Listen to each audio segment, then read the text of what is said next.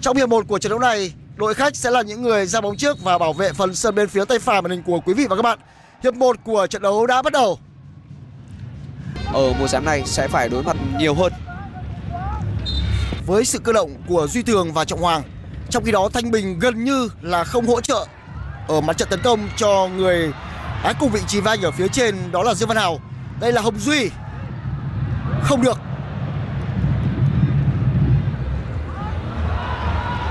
Xuân Trường.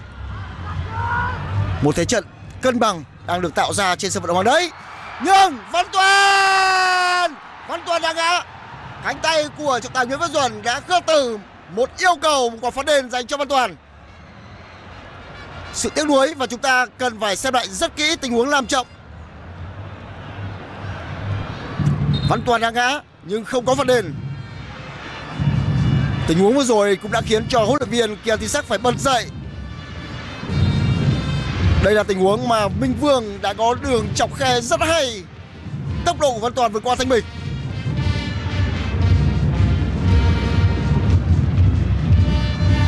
Một tình huống phá bẫy việt vị thông minh của số 9 bên phía Hoàng Gia Lai.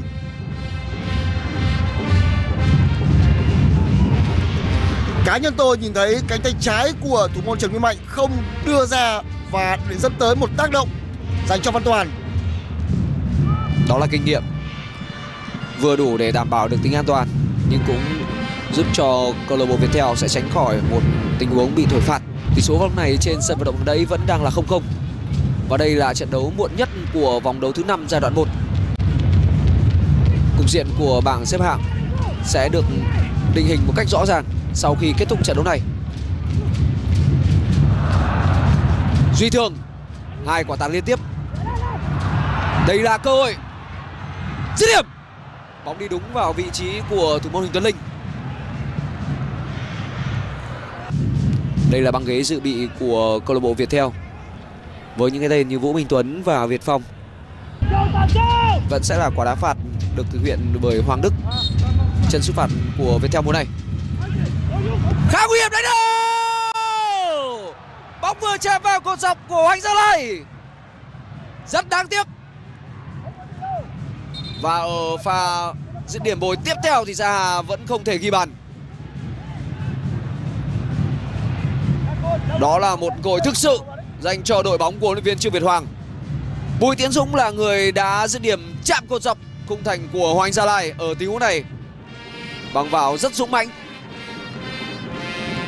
Đó là cơ hội rõ rệt đầu tiên của trận đấu ngày hôm nay.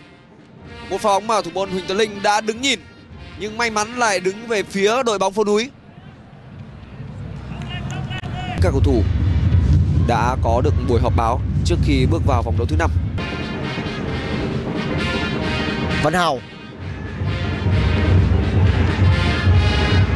Jaha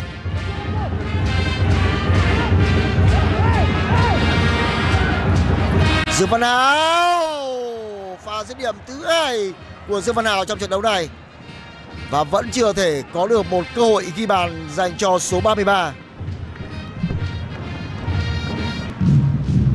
Và chúng ta sẽ cùng chờ đợi tình huống cố định này. Washington ra đâu không, đó là tình huống dứt điểm của Đại Dương. Lợi thế duy nhất của Đại Dương đó là thể hình. Tốc độ thì đã không còn, sự sắc bén thì đã ở lại ở phía sau câu lạc bộ Hoàng Anh Gia Lai có sự thay đổi cầu thủ số 99 Nguyễn Trung Đại Dương vào sân không bất ngờ khi mà Nguyễn Trung Đại Dương đã phải rời sân. Đó là cách mà huấn luyện viên Kiệt Thị Sắc đã cùng với Hoàng Anh Gia Lai và cá nhân Công Phượng giành chiến thắng trước Tottenham Bình Định trên sân nhà Pleiku. Công Phượng. Điểm! Một pha dứt điểm đầu tiên của Nguyễn Công Phượng và xứng đáng với kỳ vọng sự lựa chọn hoàn hảo khi mà huấn luyện viên Kiên Tisak tung Công ngựa trong đầu hiệp hai và ngay lập tức sự kỳ vọng này đã được đền đáp pha dứt điểm không phải quá căng, nhưng nó đủ hiểm hóc để đánh bại thủ môn Nguyên Mạnh. Bất ngờ đã xảy ra trên sân vận động hàng đấy. Các học trò của huấn luyện viên Trương đầu hàng đã để thua trước. Và đây là kịch bản mà câu lạc bộ Hoàng Gia Lai đã dội gáo nước lạnh vào lưới của Nguyên Mạnh một năm về trước trong trận hòa ba đều huấn luyện viên Kiên Thị Sắc có lý khi mà sử dụng công phượng trong hiệp thi đấu thứ hai. Và thậm chí là ngay đầu hiệp hai.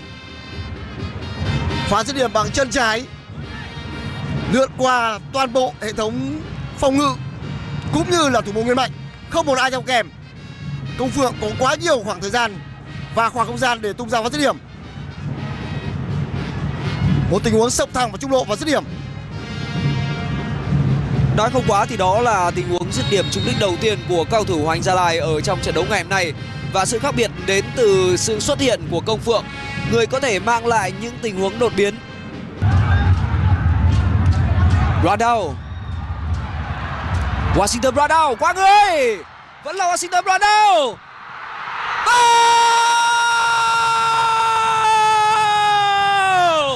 hai không dành cho Hoàng Anh Gia Lai!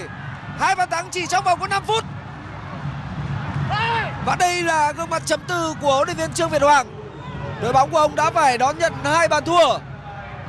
Washington Randall sau hiệp 1 trận đấu với Topelec Bình Định thì đây có lẽ là màn trình diễn trong một hiệp đấu mà người ta nhận thấy là có sự chuyển biến rõ rệt từ Washington Randall và những gì mà huấn luyện viên Kiatisak đã rèn rũa cho tiền đạo này bây giờ được thể hiện rõ rệt nhất bằng màn trình diễn ở trên sân. Tỷ số là 2-0 dành cho Hoàng Gia Lai.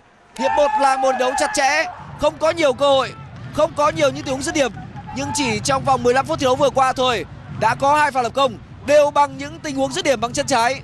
Lần lượt là Công Phượng và Văn Thành. Đây chính là đóng góp đáng kể nhất của Washington Brandao kể từ đầu trận đấu. Nhưng chỉ một thôi, cùng đó là pha dứt điểm của Văn Thành đã giúp cho câu lạc bộ Hành Gia Lai nhân đôi cách biệt. Và đây cũng là pha lập công thứ hai của Văn Thành trong hai lần đối đầu với Viettel trên sân vận động Hoàng Đấy. Một pha dứt điểm quá khó cũng như cách mà Công Phượng đã mở tỷ số. Ở trận đấu mà câu lạc bộ Hoàng Gia Lai để thua 1-4 Viettel ở giai đoạn này thì Văn Thành là người ghi bàn thắng duy nhất cho đội bóng phố núi. Và Công Phượng sẽ là người thực hiện tình huống cố định này.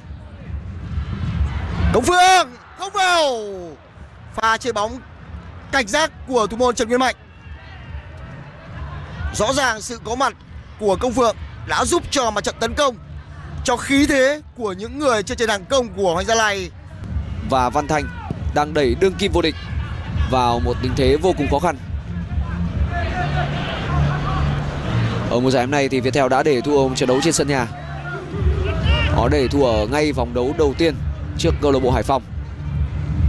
Và bây giờ thì nguy ờ, cơ về trận thua thứ hai trên sân hàng đẫy đang hiện hiện trước mắt.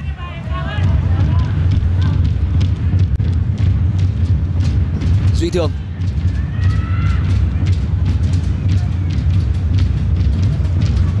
Cuộc đấu của những đội bóng bằng điểm trước khi bước vào vòng đấu thứ năm. Và lợi thế vòng này đang thuộc về đội khách. Mọi thứ đã thay đổi khá trong vạnh sau khi hiệp hai bắt đầu. Và phối hợp quá khó giữa Zaha và Pedro Paulo. Washington Bradau Lui về bên phía phần sân nhà. Liên kiếm bóng. Cơ hội Và toàn 3-0 rồi 3-0 cho Hoàng Gia Lai Đó là cú đúp của Văn Thanh.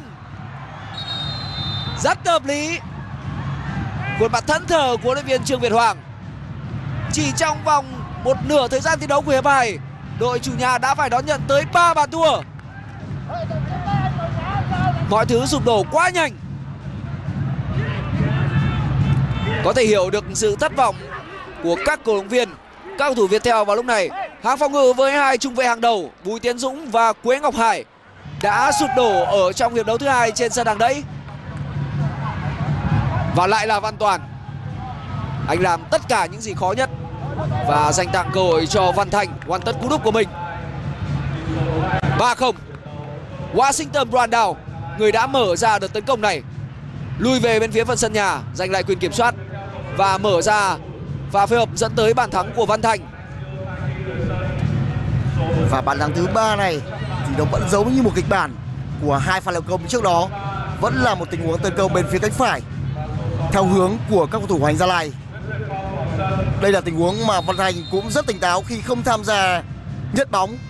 Trước đó thì Văn Thành có lẽ đã rơi vào thế biệt vị và để cho Văn Toàn băng xuống và mình là người kết thúc cũng như ghi tên mình trên bảng tỷ số với pha lập công thứ hai của cá nhân số 17